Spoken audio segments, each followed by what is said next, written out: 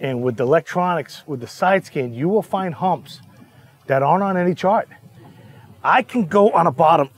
I can create my own bottom. That'll Yep, wait, yep, Here we go.